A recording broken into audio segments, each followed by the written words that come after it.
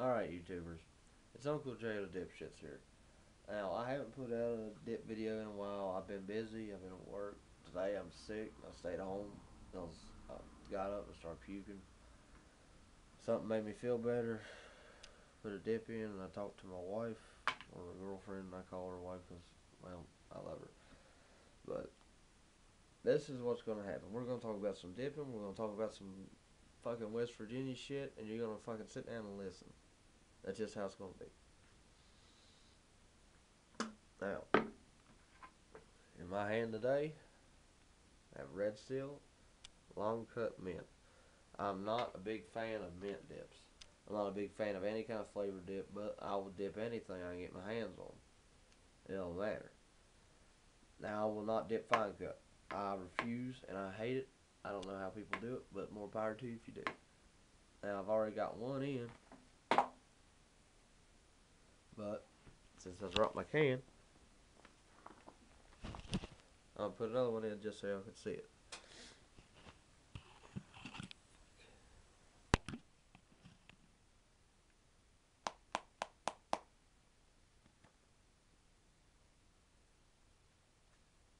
Get us a little filler here.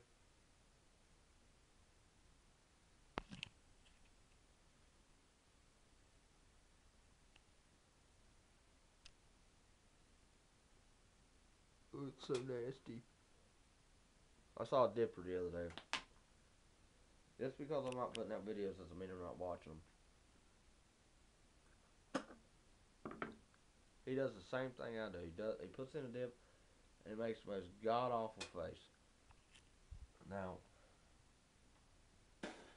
I don't know why I do it. It's just a reflex, I guess. And as you can tell, I don't have my tripod like I used to in my old videos because when there's cameras like this,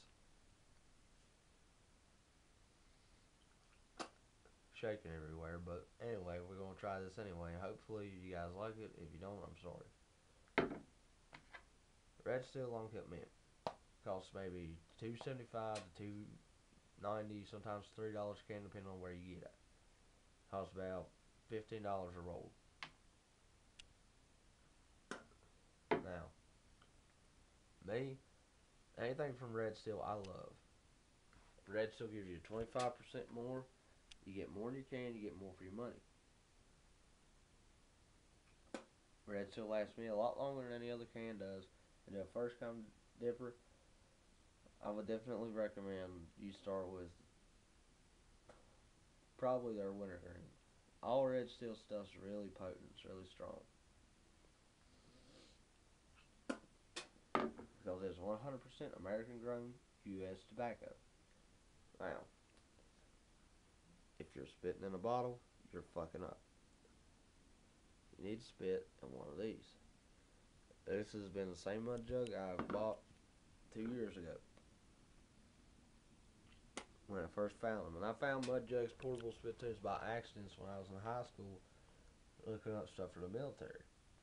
Mud Jug sponsors the military. It's the only spittoon good enough for the U.S. Armed Forces. If it's good enough for the military, it's damn good enough for me, and it's damn good enough for you. You have no excuse to spit in a bottle in a can anymore. This shit don't spill. It won't tip over. That's why it's got a weighted bottom. It's flat.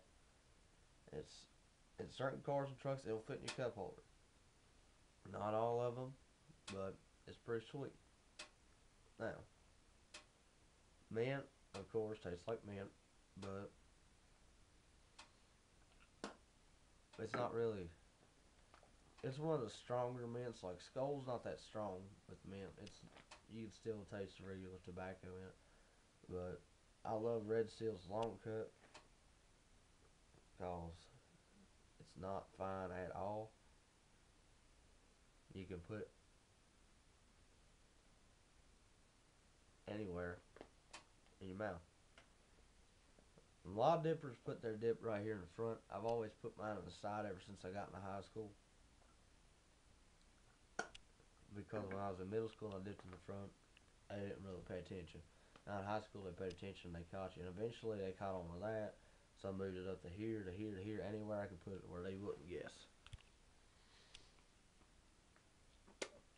But anyway, I would definitely recommend you go out and buy some red seal.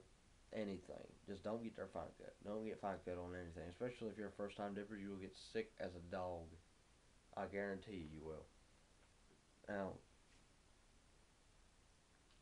please rate, subscribe, and comment. I love getting comments when I was just 4K Warrior. I got tons of them. But I'm going to start putting dip videos out as much as I can.